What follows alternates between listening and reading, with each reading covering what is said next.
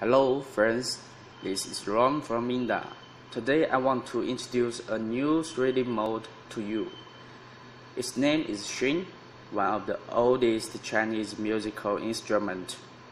It was printed by our 3D printer, PLA material.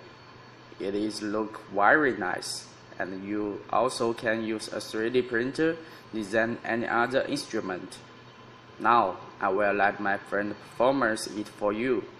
The beautiful music.